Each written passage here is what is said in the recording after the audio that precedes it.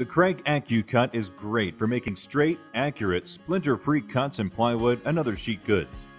The saw sled accepts almost any circular saw, which allows you to turn your ordinary saw into a precision cutting tool. One great feature of the AccuCut sled is that you can remove it from the AccuCut track and install it on any Kreg rip cut. The sled slides right onto the rip cut guide arm and locks in place.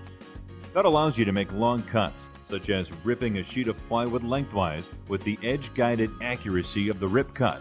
Best of all, switching from the AccuCut to the rip cut doesn't require any changing of the setup on your AccuCut sled.